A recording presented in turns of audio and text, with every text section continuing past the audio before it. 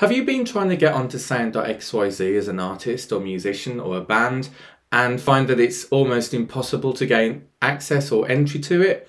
Well, they are going to open up their platform close to the end of this year. So it's called Sound Protocol and in this video I'll be discussing what that means. Hey everybody, this is Barry from NFT Music Info. I hope you are well. So Sound.xyz is one of the most popular music NFT platforms that there currently is, and it's very successful. Artists on there can generally make a ton of money selling their music NFTs, and there's lots of exciting functionality. If you're interested in more about Sound.xyz, then make sure you check out my Sound.xyz playlist on YouTube because I go into all of the functionality there. But what they're doing is they've opened up, or they will be opening up the platform, and it's called Sound Protocol. And in this video, I'll go through what that actually means. It goes on to say, when we built sound, the vision and the mission was to create a world where any artist has complete creative control of their art and career without compromising the ability to own that relationship with the audience. In order to do this correctly by artists and their communities, we had to make careful product decisions that allowed us to test uh, plan about the future in a way that would allow us to generate real insights without sacrificing trust of musicians, listeners, and collectors. So they had to go the curated way. We've learned a massive amount in a relatively short period of time. In less than a year, they've onboarded 165 artists. That sounds quite a lot, but it's not. In Web3, there's currently 5,000 Web3 music artists or artists that sell music NFTs. 5,000. When that becomes 8,000, I think that becomes like 0.1% of the amount of artists that are on Spotify. So that gives it an idea of how small we are and how early we are in this market at the moment. They've released 270 different releases and they've earned over $3.4 million on sound across primary and both secondary royalties and every dollar that was transacted was paid correctly, transparently, and instantly because it's on the blockchain. So, in the traditional sense of the music industry, that's like over a billion streams, and most of the payouts would not have yet been occurred. A new music industry that values music is upon us. As we like to say, we're just getting started, but we are deeply convicted that music NFTs are here to stay for the following four reasons.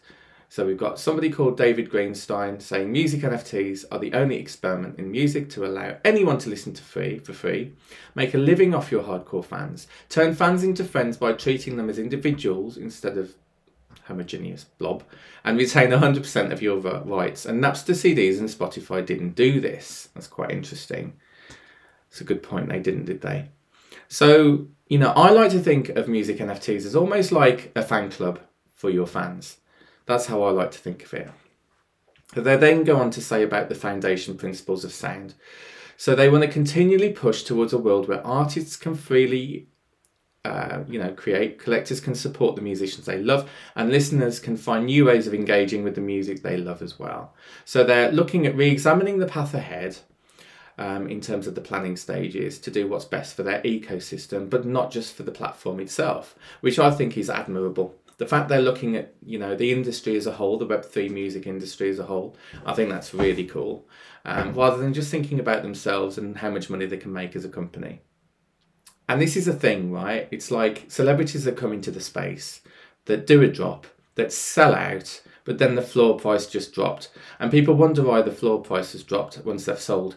It's because that celebrity has just disappeared out of Web3. They were just money grabbing, they weren't here to stay. Not always the case, I have to say, but in the cases where the secondary market is hit really badly, that can happen. So it's good to see that Sound um, is, is all on about onboarding artists and things. So they want to help as many artists as they can. Um, they want to help create the future of music with a community that truly cares about the music. But now they've realised that the time has come to expand the boundaries of what's possible through sound. As, an, as a musician myself, there are so many platforms I've applied for as a synth pop musician via the name of Cyber Monday, as an EDM artist via the name of Cyber Friday. And some have been successful and others you just haven't got a chance. you know, Sound were very honest to me and they, they explained that their roster for the rest of the year is full and then they're going to hopefully open it up for artists, which is really cool. And that's what this is all about. Introducing Sound Protocol. We are opening up the Sound Protocol and setting the stage for a rapid expansion of what's possible with music NFTs. So the Sound Protocol is a way for anyone to mint music NFTs using their smart contracts. It's going to be permission per, permissionless base layer that is separate from the sound application, Sound XYZ.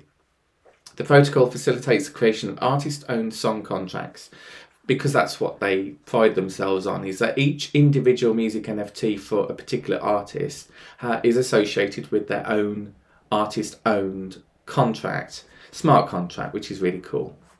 And within that, you've got things like decentralized metadata and permanent metadata and different data to help with customized drop experiences that the fan that the musician might want to do. So it's going to be a new canvas for artists and developers alike which is great because when developers get onboarded on these projects, they can run with stuff. You know, they've they've got the skills to be able to program and develop what's needed for musicians. So this could be really the start of something big. This is very similar to what Foundation did because originally Foundation, if you think about it, they were very curated, but in terms of getting your material or your content on Foundation, you had to get an invite code from somebody that was already a creator on Foundation. Then eventually, when they knew that their model worked, they released it to anybody to be able to mint. So this is in effect the same kind of thing. It's going to be a permission permissionless. I really struggle with that word. Permissionless base layer.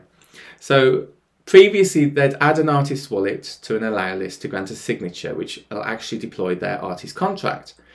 So artists need to be manually onboarded by Sound to be able to use their own smart contracts. But with this protocol, artists will be able to freely deploy their own Sound contract. So they want to support as many artists experimenting with their music at various points in their journey. The Sound protocol will be open source and free to use. Wow, that's amazing. And that's how developers will be able to get hold of it because it will be open source and free. There are going to be no fees baked in at the contract level. Stage two, there's going to be a 5% fee for primary sales on Sound.xyz because this is, you know, this platform is a company, they need to make money. So I completely get that. And I think 8% is very reasonable actually. At launch, they opted to defer, defer these fees until they were confident that they had an in market product that created value to both artists and listeners. Over the last nine months, they've introduced range editions, collector pre-sales, song splits, redesigned their landing page, created new collector and artist profiles, and a lot more. They're just getting started and have a lot more exciting features to build. They'll start their 5% fee on primary sales for contracts deployed on Sound to help fund the ongoing development. You think about support costs, technology that's needed, guides. There's a lot to this protocol, which is why they don't don't just say we've opened it up, because actually this is like a new project for Sound.xyz. Um, so the fees will not apply directly to the Sound protocol, which has no fees baked at the contract level, making it 100% free to mix and use all artists and developers. Number three is about fully artist owned and non upgradable song contracts. Previously, with Sound, an artist would deploy a single artist contract that was used to mint their songs. So this this is things like what percentage will they want back on when it goes to the secondary market. That's basically what the smart contract is. Each song therefore shares the same artist contract. So the advantages of that is the fact that there's a single collection page on secondary market like marketplaces like OpenSea, you know the collection section, um, and it kind of bundles all of those NFTs together, which is great. And it's inexpensive for the costs for the deployment and for the contract for the artist, and each song minted is fairly inexpensive. The downside of doing that is the fact that OpenSea doesn't currently um, it's not currently available for the EIP 2981, which is all about the technology, about the royalties. Um, so instead, it has a single payout address for secondary royalties per contract address. Also, another disadvantage is that artists may want to customize their own mint and metalogical data, metadata logic for a custom experience, but their contracts currently don't allow this. Another one is the fact that token gating by song is more complex, since all songs share the same contract address. So with the new protocol, they're moving from a permission gated artist contract deployment to an individual artist with a non-upgradable song contract. And songs are the unit of music. And to keep contract deployment costs as low, they're going to use a factory that deploys minimal proxy contracts. I know it sounds a bit technical, but this will all make sense when it's live. And if you haven't subscribed to the channel and you do want to be kept up to date with this stuff, then make sure you do and hit that like button, please. The new sound contracts will no longer use the beacon proxy upgrade pattern, which was critical at launch, but now it, it's not so. That was to do with security. All artists on Sound will continue to fully own their contracts as we stay true to our value that artists should have self sovereignty without middlemen, creative freedom, and provenance over their music. Number four is about permanent decentralized metadata.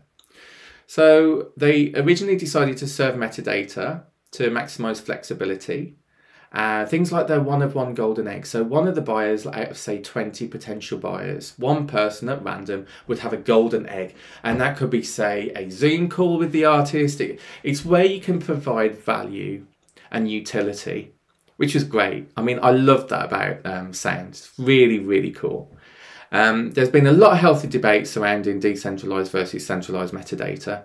Um, so it's just the fact they've been looking at all of this stuff and they're going to be moving to permanent and decentralized metadata because that's what the blockchain should be all about. Their metadata is going to be uploaded to Arweave, which is a decentralized storage network that guarantees permanence. That's really good. I have heard of Arweave on quite a few projects. Then artists have full control over their metadata and can choose to update it or freeze the metadata for each song. This is all about bringing in the right functionality for this protocol. There's also custom minting formats. So this is about having um, fixed quality or range editions.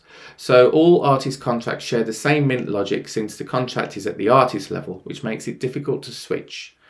With this new protocol, they're going to be customized on the per song basis. There's, there's just going to be more customization. Things like open editions, things like airdrops, um, things if you want to reserve a certain amount of editions for manual transfers by the artist. Um, like if they've got um, hardcore fans that, that have been part of Web3 and they've been promised drops in the future, then that might be a way to actually do that. Setting price discounts for a given list and maybe VIP users for a given song. Setting maximum mints per wallet. You know, maybe you can only own the song once and having back-end signatures for high traffic mints. So all of this functionality is really cool and that's what stood sound from the crowd, you know. They also talk about payments and end-to-end -end royalties, which is really important because you can have many different people that need to be paid from the artist, the songwriter, the label, the manager, it goes on and on and on. And artists will have the maximum flexibility about how those payments are actually split. Um, so that's really good to know. They also talk about minting formats, payments, metadata, um, and also they're looking at bespoke drops that could be done as well.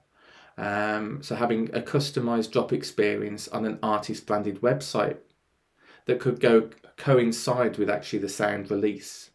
Um, so you know, if Snoop Dogg will need people to drive the traffic to his website to be able to mint it, then that can be done via this technology and the developer. So this could be huge. Um, so what does this mean uh, for Sound XYZ? So the Sound protocol will always be fully permissionless and open source, which is really cool.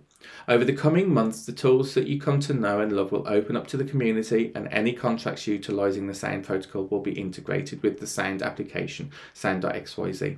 While we look at doing the finishing touches, um, the website will continue to create and onboard artists as it always has done. They'll continue to listen to the community for ways that they can provide more value back to the ecosystem, which will enable them to fully understand the pain points, give them time to build a product that could find a set of ears for every song.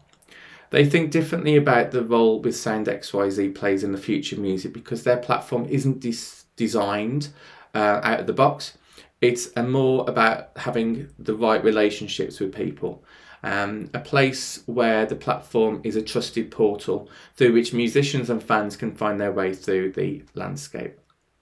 So it's exciting. This is just the start of a long journey. To bring Web3 to the forefront of how people discover and consume music, of which I am a full advocate of music NFTs. I think they are just to provide what artists feel that they're worth and to actually charge for that. And, and it's just a way where fans can actually make money as well as the artist by selling them on a secondary market. If they buy, say, two and they want to keep one and they want to sell the other one, there's just so much with, with Web3, and that's why I love this space. So, yeah. So, there you have it. So, that is all about the sound protocol. Um, let me know what you think in the comments about this. I personally am very excited about Sound Protocol. I have been holding off on some tracks um, via the name of Cyber Monday and Cyber Friday, just for the simple fact that I want to be able to launch on uh, you know my new music on a on a great platform. However, saying that, one of my music NFTs, I applied for it to go to Spotify, and it was supposed to be on there next year. It was actually released last week. So it's called Patterns. If you like synthwave material with male vocals, make sure you check it out. Patterns Cyber Monday. Just type it in YouTube or Spotify that'll be really cool to let me know what you think. And uh, yeah, I, I have been careful about my release strategy and making sure that I have got some of my best material available for the likes of Sound Protocol when it becomes available. So yeah, hope you like this video. Catch you on the next one. Take care. Bye.